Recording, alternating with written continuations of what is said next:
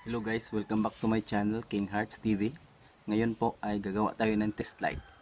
Ituturo ko sa inyo kung paano gumawa ng test light. Ito, kikita nyo yan.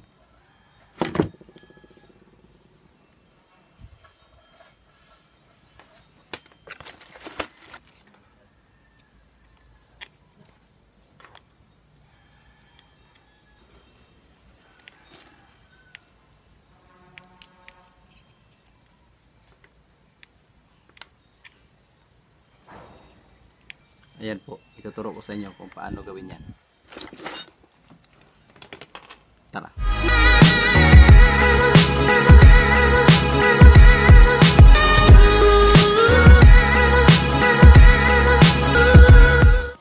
Ito po yung mga kailangan natin sa paggawa ng tester. Ayan. Ito po ay electrical tape.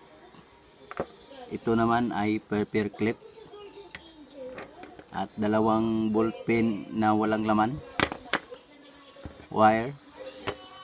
At saka signal light ito nga pala ay signal light ng Rossi Swiss Mono Ah, pinalitan ko na kasi kaya di ko na kailangan.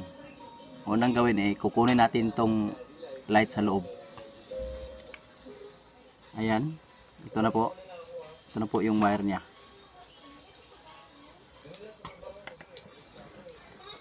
yan tapos, ito.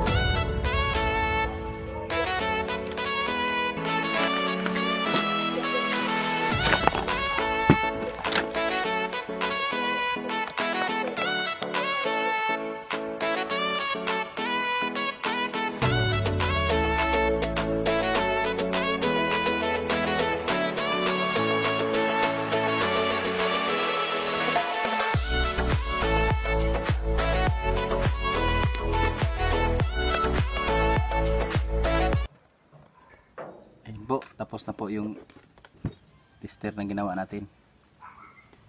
Thumbs up po tayo dyan.